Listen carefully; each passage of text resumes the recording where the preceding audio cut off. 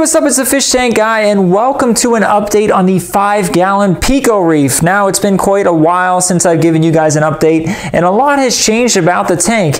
Uh, at first glance, you'll see the, it's not necessarily for the better, right? Uh, I'm giving you right now a view from the long end of the tank, and as you can see, I have a lot of algae, I have a lot of growth on the glass, I have some uh, cyano, cyano, uh, I don't know how they pronounce it, right?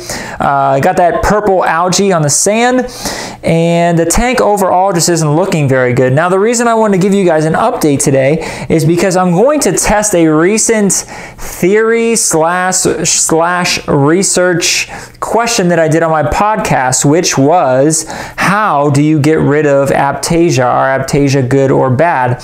So let me swing the camera around here. So as you can see, there is a large aiptasia here, and there is another one here that you probably can't see because of all the gook on the glass. And actually, there are a few more heads of aiptasia in the tank. So what I decided to do was go ahead and purchase a peppermint shrimp, which was one of the creatures of the saltwater reef hobby that when researched found that they eat aiptasia. So what I'm going to do is I'm going to put this to the test. I definitely have three to four heads of aiptasia in this tank.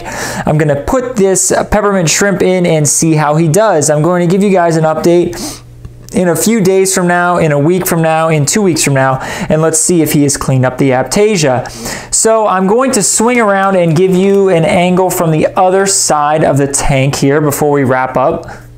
Now, from this side of the tank, you may or may not be able to see that there are a bunch of green mushrooms in the aquarium. There are some candy cane coral, and there is this thing right here.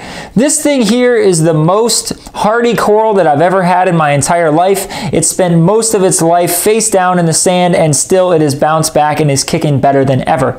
Now, if you recognize these green mushrooms here, that's because this rock is from the 10-gallon nano reef. If you recognize this green candy coral cane here, here, a bit.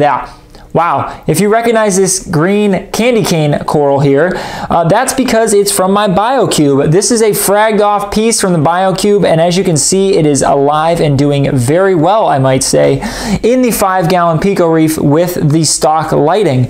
Now, one of the objectives that I had when starting this video series was to let you guys know if this tank is suitable for growing coral, and honestly, it is beyond a doubt. Um, now, I didn't mention down here in the bottom left corner the sun coral that I have. That is because it's not doing very well, and quite honestly, it's a pain in the butt to take care of.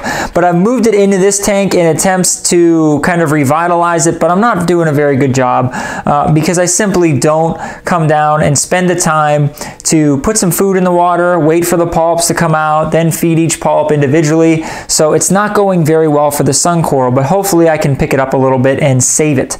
So uh, I am the Fish Tank Guy. Thank you so much for watching this brief update on the 5 gallon Pico Reef. The next time you guys see this tank, I hope it's going to be Aiptasia free.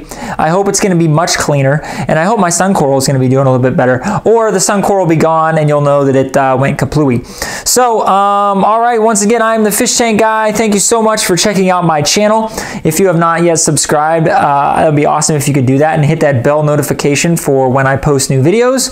Um, that's all I've got for today. So until a future Fish Tank Guy video, I will see you guys soon.